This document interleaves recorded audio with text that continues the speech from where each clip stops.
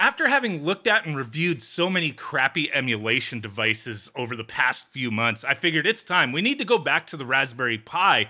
So today what we're going to be looking at is a RetroPie image, 256 gigabytes with over 11,000 games for the Raspberry Pi 4. This thing has a lot going on for it. Some interesting things, Sega Saturn, 3DO, Atari Jaguar. There's a lot of PC systems on here tons of stuff that I've never played before on the Raspberry Pi. So I figured, you know what? This is going to be pretty cool to check out. So this is from Ryan at iSight Design. He named the image the Jedi Rycade image, 256 gigabyte Pi 4 image. It is optimized and really made for attract mode. So right now we're just kind of scrolling through Emulation Station. We're going to go ahead and swap over to attract mode, start testing stuff out. I'm really excited for this build. It's very intriguing, a lot of interesting things going on here. So, without further ado, let's get this party started. So here we go. We're in the attract mode side of things, and Ryan did say that he put together a lot of the elements within this build, this theme. But if, for example, you don't like the looks of this theme, how things are laid out, you can mess around with things within the attract mode setup. Go to the display utilities, the theme downloader. There's a lot of configuration options here for you to mess around with things. But so far, looking at this theme, it is fairly clean. It is simple. There's a lot of cool things with this build. Once you get into the actual games, let's say, for example, arcade, everything has its own little layout. A lot of them will have a similar setup like this with the wheel art on the side, the Rycade arcade over there. But some things do mix it up. Now, I just wanted to kind of do an overview of this build, but I want to focus more so on the stuff that I've never played on the Raspberry Pi before. Because a lot of this stuff's going to work just fine. Daphne works just fine. All the Neo Geo stuff, the arcade stuff, 16-bit, all those things work great. But there's going to be a lot of things here that I find interesting. We do have hacks as well, I noticed. So like Genesis hacks. I'm not big on the hacks, but sometimes you do find some interesting things here and there. And it's kind of worth messing around with. But there you go. The hacks, you probably won't have snaps for everything because it's kind of hard to get snaps for all the different hacks. We do have Mega CD, Dreamcast up in here. I think there's 37 games for Dreamcast. All your classics and hacks, right? Nintendo 64, we got a bunch of stuff there.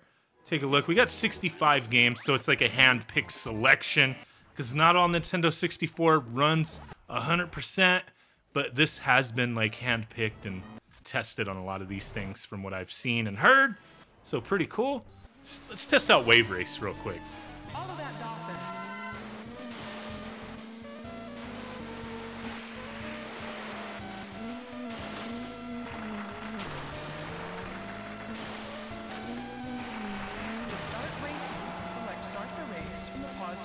So far the controls feel fine. Everything has been pre-set up. I'm using an Xbox 360 wired controller. I didn't have to do any setup myself. It just everything was pre-configured, so that is nice. But yeah, this game, you know, not my preferred way to play Nintendo 64, but a little selection here to mess around with.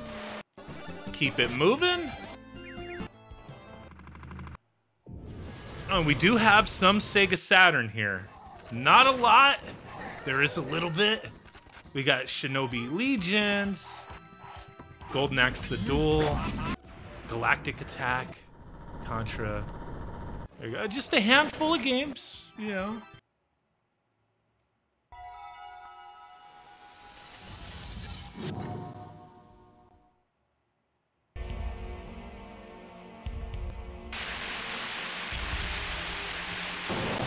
Here we go, Golden Axe The Duel on the Sega Saturn. Been a little while since I played this one. Duel one. Hey.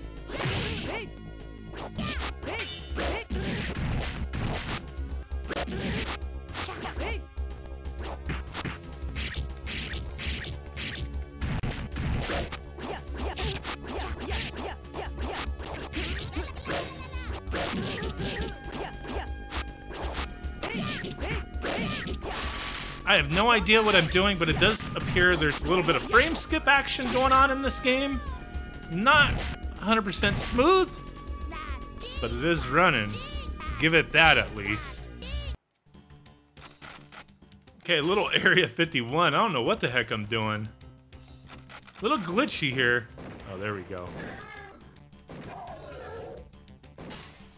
Man, it's kind of weird playing this without a light gun.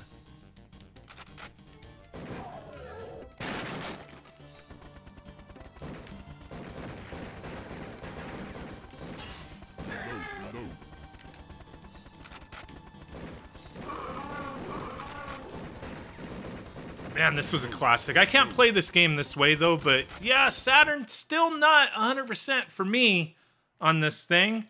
So let's keep it moving. PlayStation 1, you're going to have like pretty much everything in PlayStation 1's going to run just fine. I've never found too much in the way of issues with PlayStation 1. PSP, what do we got in here? Oh, Ghouls and Ghosts from Russia with Love.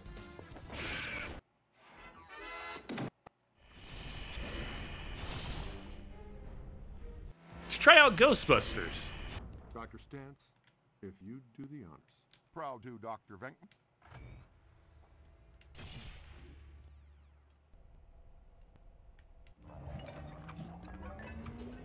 All right, show.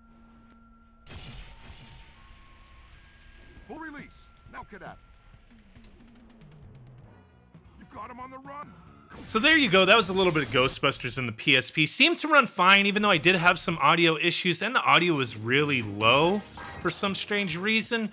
Let's check out some 3DO real quick. There's a handful of games here. Now, the one thing I have noticed with this theme and the overall image is with the the mismatch of things, there is a lot of like inconsistencies with how the artwork is laid out. Like this, the little tiny ass box art. I don't really like that. You know, if I were to be critical about anything, that would be pretty much it. Is it's kind of inconsistent with the art style going on here as far as how things are formatted. But like I stated earlier, that's stuff that you could fix yourself or just leave it as is. I mean, I think this is a nice starting point as far as an image to customize. Let's go ahead and check out Gex. Wow, this game actually plays decently well. I mean, it's just a 2D game, but so far I haven't really noticed anything in the way of issues. remember playing this back in the day, but not on the 3DO. 3DO is going to be another one of those systems that you're not going to get the full library working on here. Not currently, anyway. But still cool little bonus. Haven't seen too much in the way of images that have had 3DO, so hey, why not?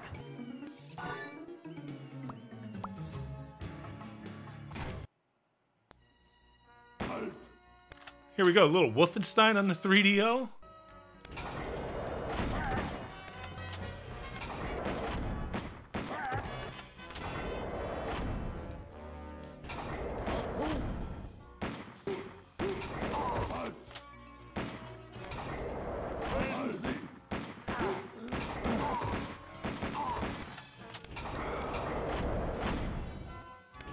Now we do have Atari Jaguar as well. What do we got going on in here? Wow. Yeah, the inconsistency with the art style is kind of kind of wonky here. Uh, some of these don't have snaps, or are they just not loading? Alien vs. Predator. Oh, it just takes a second to load. Defender. Okay, Alien vs. Predator, probably one of the uh, the main games that was worth having a Jaguar for. Audio seems a little uh, a little wonky. Hey, fool.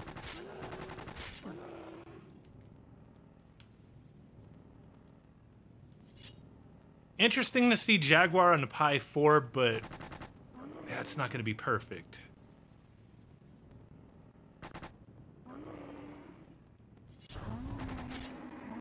Stab him in the face.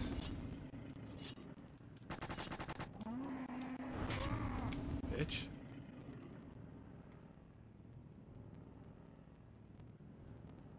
Okay, well, that's interesting.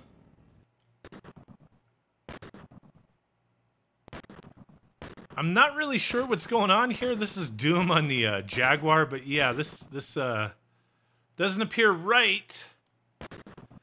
Maybe a little ambitious trying to get this working on here, but it is not working for me. So you know what? Not that excited to mess around with Jaguar on this build or on the Pi 4 in general. I'm not sure what's up with this screen. Holy crap. So interesting to see all that stuff there. We also have Naomi, Atomiswave, PCFX, which interesting to see that on here as well. Really cool. So we're going to have to do some follow-up testing more of these systems in a future video because there is so much to cover here with over 11,000 games. Not going to test them all, but definitely going to have to be doing some follow-up videos on this build because there's a lot of things going on here. My main criticism is, uh, you know, the inconsistencies with the art style, the way things are formatted. Uh, I could see some people not digging that. It is customizable, so that's a huge plus. But overall, I think this solid image that just needs a little, you know, a little polish, I guess you would say. But hey, guys, really do appreciate you hanging out with me. Follow along with this build. We're going to be taking a look at more things with it, seeing what's up, seeing if uh, it's going to be up there on that, you know, place of the, the arcade punks. You know what I'm saying. We'll figure things out. Really do appreciate it. And with that said, I will catch you guys next time. Peace out. Bye bye. And boom. Bye.